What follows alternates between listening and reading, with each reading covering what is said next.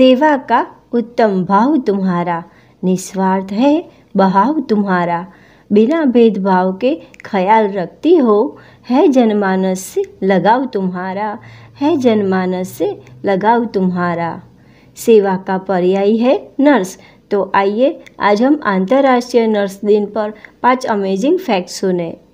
Number एक हर साल 12 मई को हम फ्लोरेंस नाइटिंगल की जयंती को दुनिया भर में अंतर्राष्ट्रीय नर्स दिवस के तौर पर मनाते हैं, जिन्होंने किमिया युद्ध के समय 1850 के दशक में आधुनिक नर्सिंग की नींव रखी थी। नंबर दो फ्लोरेंस नाइटिंगल मरीजों की देखभाल के लिए अक्सर रोशनी के दीपक लेकर रात में चक्कर लगाती थी। इसीलिए उन्हें the lady with the lamp के नाम से लोग जानते हैं। नंबर तीन, नर्स दिवस का उद्देश्य नर्सों द्वारा किए गए कई योगदानों का सम्मान करना और उन्हें नोट करना है।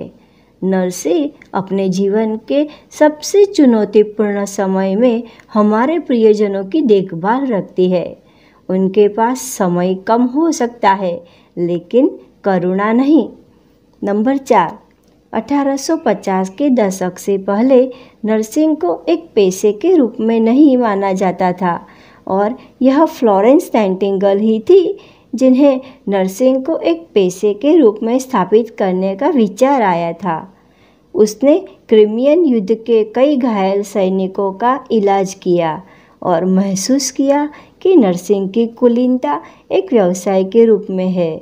जल्द ही नाइटिंगल ने उन महिलाओं को प्रशिक्षित करने के लिए कक्षाएँ शुरू की, जो लंदन के सेंट थॉमस अस्पताल में नर्सिंग करना चाहती थी। नंबर पाँच फ्लोरेंस नाइटिंगल एक मेहनती महिला थी, जिसमें उपचार और पोषण का जुनून था और उसके असाधारण प्रयासों ने उसे रेड क्रॉस सोसाइटी तक पहुँचा दिया। आज भी असाधारण नर्सों को युद्ध या शांति में घायलों की देखभाल के लिए फ्लोरेंस नाइटिंगल पुरस्कार दिया जाता है। तो ये थी अंतर्राष्ट्रीय नर्स दिन की कुछ जानकारी। वीडियो पसंद आया हो तो लाइक करना और दोस्तों में शेयर करना।